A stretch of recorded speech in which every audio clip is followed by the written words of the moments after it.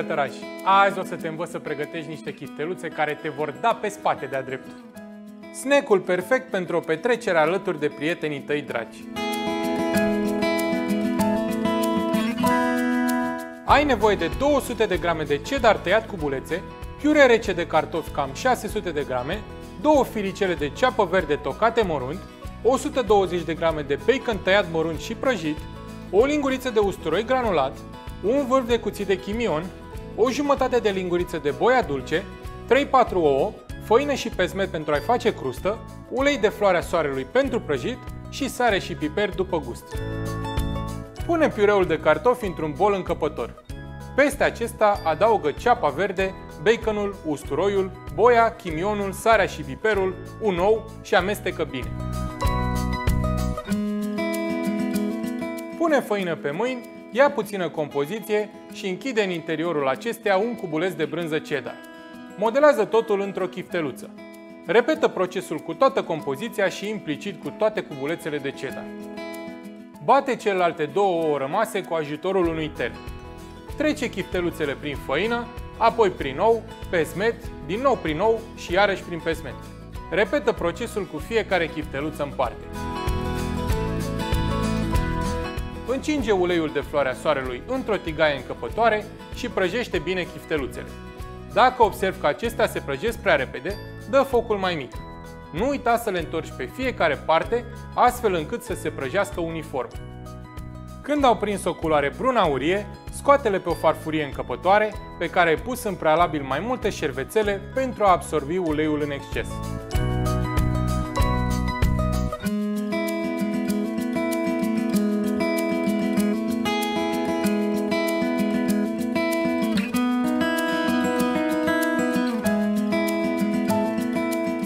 Ador snack-urile acestea rapide. Și merg de minune cu un sos tartar, un sos alioli sau cu smălăt. Sunt Alex. Și dacă tot ne bucurăm de apariția cartofilor noi, de ce să nu-i gătim într-un mod cât mai gustos? Cartofii țărănești sunt un preparat clasic adorat de toți. Pentru rețeta de azi ai nevoie de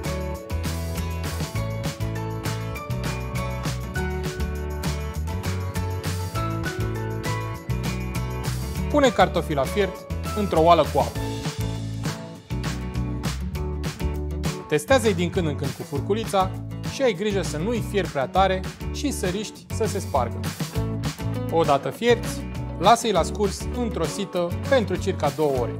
Cartofii trebuie să fie perfect scurși ca să nu devină moi și uleioși. Taie ceapa julien și baconul cu bulețe. Cinge o tigaie cu o lingură de ulei și călește-le împreună. Adaugă și cartofii, cimbrul proaspăt tocat mărunt și boia. Amestecă ușor să nu zdrobești cartofii.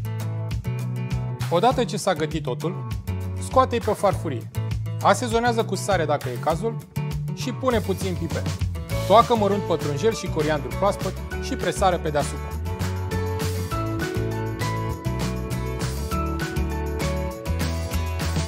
Că o să vrei să-i mănânci direct, dar crede-mă că merg de minune și alături de o friptură suculentă. Și bine v-am găsit la o nouă lecție de gătit.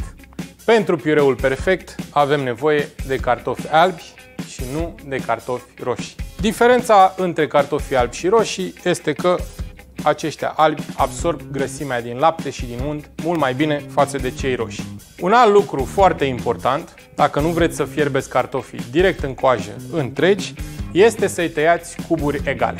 De ce cuburi egale? Pentru că vrem ca toate să fiarbă în același timp. Nu vrem să avem cartofi mai fierți și cartofi mai puțin fierți. Cartofii întotdeauna îi punem la fiert în apă rece. Nu îi punem în apă clocotită pentru că atunci se vor face la suprafață, iar în interior vor rămâne cruzi. Am aici două oale în care am pus apă, voi împărți cantitatea în două jumătăți și vă voi arăta diferența între zdrobitor și blender. Voi porni plita la foc mediu, cartofii fierb cam în 20-30 de minute. Ca să vă dați seama dacă au fierb bine, puteți să încercați unul cu furculița. Dacă furculița intră ușor în ei, înseamnă că sunt fierți. O să scurg apa de la cartofi în chiuvetă și o să-i pun în două boluri. Cartofii se zdrobesc cât sunt fierbinți. O să adaug puțin unt. Untul trebuie să fie la temperatura camerei, iar el trebuie să se topească în aburii din cartofi. Atenție, nu topiți untul înainte, altfel nu se va încorpora foarte bine în cartofi. Prima dată voi folosi un zdrobitor.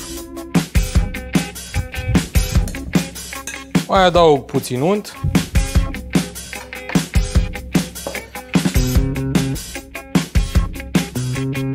Adaug și niște lapte. Laptele întotdeauna trebuie să fie călduț. Dacă veți pune lapte rece, atunci veți scădea temperatura piureului, iar acesta nu va mai avea gust bun și, evident, nu va mai fi atât de cremos. Și la fel o să pun puțin câte puțin. În funcție de soiul de cartofi, vă veți da seama cam cât unt și cât lapte cere piureul. Iar acum o să potrivesc de sare.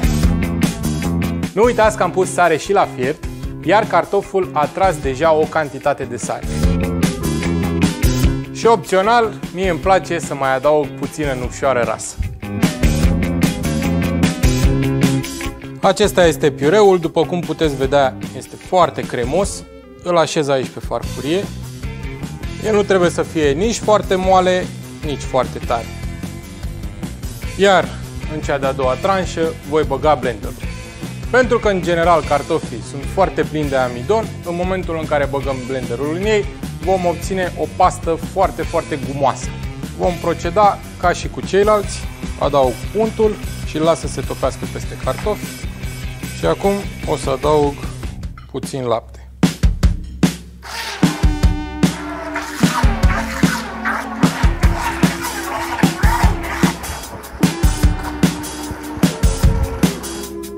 Adăugăm și la acesta sare și, bineînțeles, nucșoară. Și acum o să vă arăt consistența piureului făcut la blender, care este o pastă foarte, foarte gumoasă. După cum puteți vedea, este departe de piureul cremos cu lapte și unt pe care ni-l dorim. Aceasta a fost lecția de cum se face piureul de cartofi. Pentru alte lecții de gătit, dar și rețete interesante, vizitați www.bucătăraș. Astăzi îți voi arăta cum să pregătești o supă cremă perfectă pentru a combate frigul de afară. Supa cremă de cartofi este unul din preparatele mele de suflet și azi îți arăt că și tu poți face această minunăție cu puține ingrediente. Ai nevoie de 6-700 de grame de cartofi, un păstârnac, un sfert de țelină, un morcov, câteva crenguțe de oregano proaspăt, 50 de grame de unt, o legătură de pătrunjel, 6-7 frunze de busuioc, 3-4 căței de usturoi copți, 50 de ml de ulei de măsline extra virgin, 4 gălbenușuri de ou, 150 de ml de smântână de gătit, câteva foi de plăcintă, 2 linguri de semințe de susan și sare și piper după gust. Taie cartofii, posternacul, țelina și morcovul cuburi.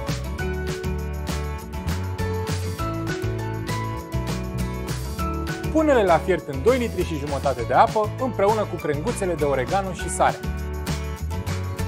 Odată fierte, scoate oregano, scurge 3 sferturi din apă și pasează totul bine.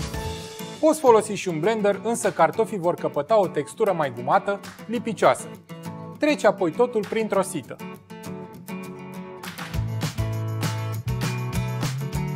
Încălzește smântâna de gătit pe foc, adaugă-o deasupra și pune și untul. Amestecă totul bine. Pune și două polonice din zeama în care au fier legumele.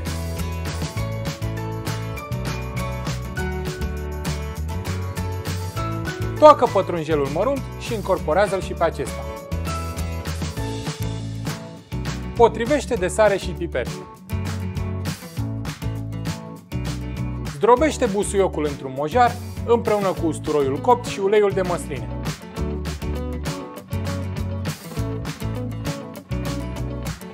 Pune supa în castroane termorezistente și adaugă o lingură de ulei de măsline cu usturoi și busuioc deasupra. Bate cele patru gălbenușuri cu un tel. Pune o foaie de plăcintă deasupra castronului, unge-o cu gălbenuși de ou și aplică altă foaie de plăcintă deasupra. Repetă acest proces până la 4 foi pentru fiecare castron în parte.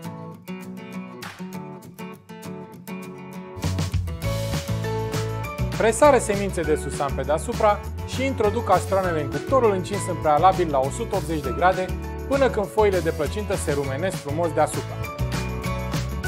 Așa arată după circa 4-5 minute. O supă aromată, super ușor de făcut și extrem de sățioasă. Și dacă ai întrebări sau alte rețete pe care vrei să ți le pregătesc, lasă-mi comentariile tale mai jos. Pa, bucătărași! Până data viitoare, nu uita să te abonezi, să dai like paginii de Facebook sau să mai cotrobăi printre celelalte rețete.